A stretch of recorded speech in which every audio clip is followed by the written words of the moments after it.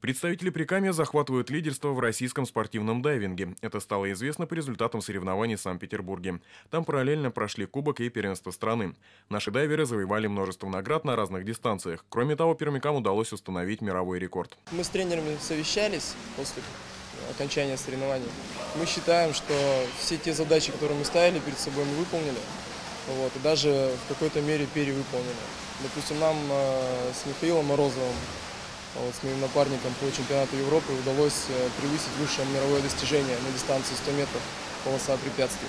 Если в рамках национального кубка все изначально ожидали высоких результатов, то успешное выступление пермяков в первенстве России отчасти стало приятным сюрпризом. Тренеры решили даже привлечь их к выступлению в кубке среди взрослых. Но и тут наши дайверы не растерялись и показали отличные результаты. Хотя вплотную заниматься достаточно молодым видом спорта стали недавно. Мы пришли к такому результату, как победа получается, детьми взрослого Кубка России. Вот это достаточно интересный результат, который был достигнут на этих соревнованиях. Достаточно для нас было удивление, для тренеров, это то, что э, слишком как бы, было малое количество ошибок, которые в этом виде спорта очень часто присутствуют. На соревнованиях я плыла 100 метров и 300 метров. Готовились на тренировках. У нас были по две тренировки в день. Ну, мы много плавали, как бы тренировались. К чемпионату России, он будет в апреле. Будем сейчас ну, готовиться опять две тренировки в день. Андрей Григорьев, телевизионная служба новостей.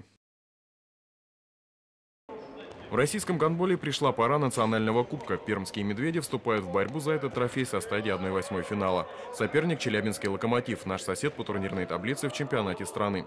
Соперник, как известно, принципиальный. Но, несмотря на все обстоятельства, пермяки рассчитывают на положительный исход. Мы перед командой поставили задачу выступить в Кубке России как можно лучше. Почему? Потому что э, первая, вторая команда по итогам Кубка России, да, занявшая там в финале, игравшая в финале, имеет право выступать в Еврокубках. Поэтому можно пробиться в Еврокубке через, через э, Кубок России. Мне кажется, мы готовы сейчас выиграть. По крайней мере, думаю, будет задача, самое главное, на разницу играть.